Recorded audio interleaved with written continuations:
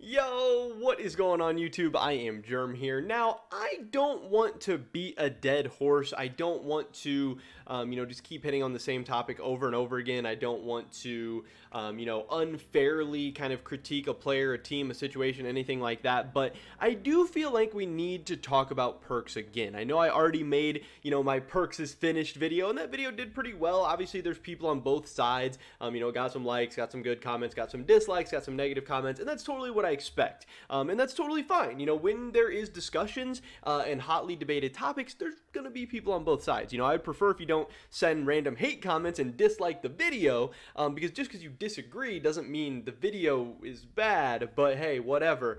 Um, but anyway, after I made that Perkz is finished video, that was just after their first game. Um, you know, that was after the Mad Lions game where things didn't go so well. But then they played two more games after that. Uh, and I think we just need to talk about Perkz and this Vitality team as a whole and kind of what's going on with them, uh, especially headed into this second LEC week. So definitely drop a like if you guys do enjoy this video. I would appreciate that a ton. Uh, subscribe to stay up to date on all my latest content and consider checking out the merch. First link in the description below. Uh, an awesome way to help support my channel and my content. With that being said, let's get right into this. So obviously, Vitality is the super team. Perkz is uh, what we assume to be the highest paid player on this team. We know he has um, some kind of pretty significant salary plus some kind of pretty significant buyout that Vitality had to pay um, just to get him from Cloud9 because he is – uh, you know, the best Western player of all time, depending on who you ask. Obviously, some people are in the Caps group, some people are in the Perkz group, but um, he's for sure at least in the conversation. He's been very, very impressive. Um, I know that I've been very vocal, and a lot of other people have as well, that he didn't play that well with Cloud9 last year, but still they were able to get enough results. Um, they were able to win an LCS title. They were able to get out of groups at World. So, so people were still giving him a chance, you know, re- returning to the LEC, all of this stuff. Um, and so far things have not gone great. And uh, it was this meme last year that um, you know somebody made this thread on Reddit that was like Perkz need to be held accountable. You know he is the second highest paid player in the LCS. He has all this hype. He came in and trash talked the LCS. He said you know everyone was going to suck. He was going to be the best mid laner, the best player. It was going to be easy. And then he came to the LCS and it looked anything but easy. He went to MSI. His team bombed out at MSI. Uh, his team really struggled in the summer split. Uh, and then things, after that post, things turned around a little bit for Cloud9. You know, Cloud9 ended up ending the summer split kind of strong. They end up getting the three seed at Worlds, they beat TSM in a five game series, and TSM, you know, was not that great of a team last year. Uh, and then obviously they go to Worlds, start out not very hot at Worlds, they end up making out of groups. You know, we all know what happened, um, but there was this real back and forth. You know, there's this meme of the LCS fans saying, "Hey, Perkz needs to be held accountable. He he." Talked all this trash. We're paying him all this money. He's not producing up to these standards. And then there's the EU fans and the Perkz fans and, and some Cloud9 fans that are like, okay, you guys are idiots. He won a title. He he got out of groups at Worlds. He's helping this trash region, you know, achieve all these uh, all these great things. You know, he he's done everything he said he was going to do. Um, but now I, I, think it's funny that EU fans, Vitality fans, whatever, they're getting a little taste of their own medicine. And now, you know, more and more people are starting to say uh, maybe that Perkz needs to be held accountable after all. Because again, he's in that same situation. He's making a ton of money for Team Vitality over in Europe. They don't usually drop a ton of money. They don't go for these crazy buyouts. They don't pay these crazy salaries. Um, but Perkz is a guy seemed uh, deemed as worth it because he brings in a crazy fan base. He brings in crazy viewership. You're going to sell a ton of jerseys. Your content's going to pop off and you're getting one of the best players in Western history. But uh, I found this banger tweeter. It came across my timeline or whatever. Um, this is Perkz highlights of week one in the LEC. Some of his best plays from the week. Thanks for watching. There you guys have it. There was Perkz' highlights from week one. I thought that that was hilarious. This tweet is 3,100 likes from um, a guy I've never heard of before. He has, he has 1,000 followers. I don't know who it is, but uh, yeah, I don't know. He makes memes apparently. And this was a banger. This one popped off and it was just super, super funny. I had to throw it in the video. Um, but when we take a look at the Vitality games from week one, again, this is supposed to be the best team in the West, as said by a lot of people in their preseason power rankings. Uh, and getting off in the first game, you know, I already broke this one down really, really in depth in a video. Um, check that out. It's called like Perkz is finished. I'm, I'm pretty sure from earlier in the week. Um, you know, he plays the Akshan in this game. Uh, he goes 0-6-4. This was a very, very bad game. He has a handful of mechanical mistakes and moments where he just makes straight out blunders, um, champion specific and non-champion specific. Um, and he is constantly pushing forward without vision. I know I talked about how self made probably could have helped him with vision a little bit. Um, but, you know, Perkz himself wasn't warding. He wasn't respecting ganks. Uh, yeah, kind of weird. And then people have said, hey, Mad Lions, they might be one of the best teams in the LEC. We'll give them a pass. Yeah, but Reeker himself, personally, the mid laner for Mad Lions, has not looked that strong to start the season. So if Perkz is really, you know, this MVP of the LEC, potentially the best mid in the West, potentially the best player in the West, I would think you'd have a little bit better showing, uh, especially in the 1v1 matchup against Reeker. But whatever. First game of the season, get the rust out, whatever. Now they play against Fnatic, and in this game, Vitality actually looked really, really good in the early game. They almost won this game. They probably should have won this game, but they didn't. You know, we can speculate on what would have, could have, should have happened, whatever. They didn't win. Perkz went 1 1 and 3 on Twisted Fate. He had 4 out of 16 kill participation for his team. Didn't really do much of anything. You know, he didn't have an objectively, like, bad game. You know, he didn't have any, like, clearly terrible moments or terrible plays or anything like that, but he didn't do anything good. He just didn't really do anything. I know I tweeted after this game, like, I really didn't even notice that Perkz was in that game, and uh, for good reason. You know, he, he really didn't do anything. And maybe you can say, hey, Twisted Fate, there wasn't much he could do in this situation. Yeah, his team threw. Hey, he got him into the winning position. They didn't close the deal. Yeah, whatever, whatever, whatever. But, you know, at best, I think you can say this was like a wash game for Perkz. He was just a non factor. Didn't play bad, but I wouldn't call this a good game for him either.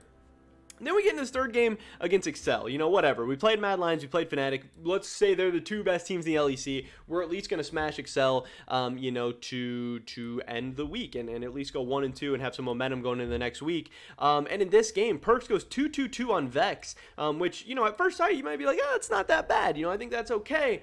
But understanding this was Vex into LeBlanc. This is a very, very Vex favored matchup. We actually saw um, and Larssen playing this matchup earlier in the weekend. Uh, and obviously, many people would consider Larssen to be a much stronger mid laner than Sertuss. Um, but Sertuss was playing the Vex into Larssen's LeBlanc and was constantly harassing him, constantly poking him out. Uh, I don't believe he ever solo killed him, but he got pretty dang close a couple of times. Um, you know, for sure, Larssen was getting his passive popped. He was getting forced out of lane. Uh, and I believe the matchup actually went about even in CS, which was very, very impressive to me from the side of Larssen. Um, but it was clear the line, this, the, the matchup was very Vex favored. Vex felt very comfortable and safe playing against LeBlanc. And that is not what we saw in this matchup between Perkz and Nukeduck. I don't know if it was at 10 or 15 minutes, but um, sometime in that, you know, early, getting into mid-game phase, Perkz was down 40 CS on the Vex into LeBlanc. He was not um, constantly harassing LeBlanc. He was not making it look like an advantageous matchup. He was not making it look like a counter pick. Uh, and this just overall was not a good game. You know, again, he didn't have an objectively bad score line. He didn't like int the game way or anything like that, but he had the counter pick. He had the advantageous matchup, and he was just simply not taking advantage of it. He was simply not playing better than Nukeduck, playing better than his opposition, and this caused Vitality to lose again, going 0-3. When we take a look at the stats um, so far into the LEC season, yes, this is just three games tiny, tiny, tiny sample size. Everything could change. You really shouldn't read into any of this too much anyway. But when we take a look at these stats, KDA, Perkz is last in the league. Kill participation, Perkz is last in the league. This is uh, when compared to other mid laners so far. Um, we have uh, actually percentage of his team's deaths. He's actually not that high up because his whole team has been dying a lot. Uh, but you know he has as well. So hey, he's not dying. You know disproportionately so compared to his teammates. Which hey, maybe that's a good thing. Um, but when we take a look at laning stats, gold differential at 10 dead last in the league, and it's not even close. He's minus 526 gold at 10 minutes, and the next lowest is minus 154. That is insane. XP differential at 10, 523, and the next closest is 261. CSD at 10. Perkz is last yet again, minus 9.3 CSD at 10 on average through three games. This is rough. And again, I thought Perkz was not good last year for Cloud9. You know, I thought he had good moments. He had great games. He had a lot of good games. He had a lot of okay games. I don't think he had many great games. I don't think he had many egregiously terrible games. Um, so, you know, I, I didn't think like Perkz was washed up or I didn't think like he was going to come and absolutely suck for Vitality or anything like that. Um, but I will say, you know, most people would agree that the LEC is probably an overall stronger league than the LCS, and the L- LEC mid lane pool is probably a lot stronger overall in the LCS. So the fact that he struggled in the LCS, um, it was not a great sign coming back to the LEC. And maybe there's even been some regression from last year. You know, maybe he's at the same level. Maybe he'll get better as this year goes on. But maybe he continues this downward downward trend that we've seen from him for the past couple of years. Maybe he won't be a top five mid laner in the LEC this year. You know, I know that sounds crazy, but again, so far, this is what we've seen from him. Based on last year and based on this year, things are not tra- pointing in the right direction. Things are not going well. Um, and I know some people are like, oh, I can't believe you're hating on Perk so much. Oh, I can't believe there's this much hate on the channel. This is so negative. I'm unsubscribing, you know, yada, yada, yada that's fine. If that is hate to you, if that is so crazy or ridiculous to you that makes you want to unsubscribe, that is totally fine. You should unsubscribe at that point.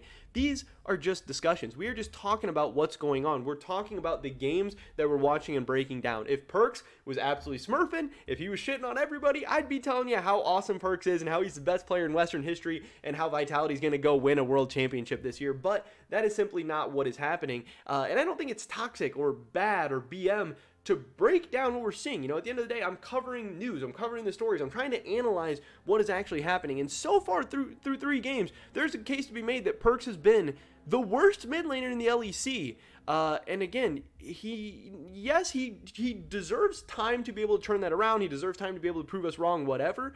But he also needs to be held accountable for what is happening and, and, and his level of play that again for the third straight split is uh, at least starting out not looking so good. But that is pretty much it for this video today, guys. Definitely drop a like if you did enjoy it. I would appreciate that so, so much. Uh, leave a comment down below. Let me know what you think about Perkz in this whole situation. Do you think he needs to be held accountable, or do you think um, that he's doing just fine and, and this is okay? And hey, he's going to turn it around and just don't worry about it. Quit tripping. I don't know. I'd love your guys' thoughts and opinions. Subscribe, stay up to date on all my latest content. Hopefully, catch you guys in the next one. But until then, peace.